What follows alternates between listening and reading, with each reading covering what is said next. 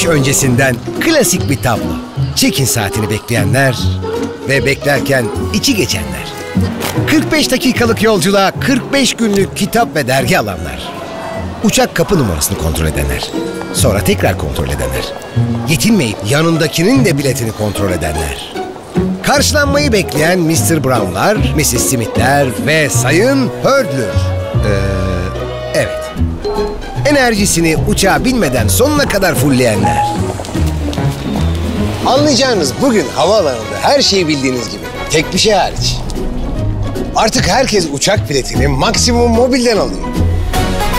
Kartınız hangi bankadan olursa olsun tanımlayın Maksimum Mobil'e. İstediğiniz hava yolundan biletinizi kolayca alın, rahatça uçun. Ne dilersen dile Maksimum Mobil'de.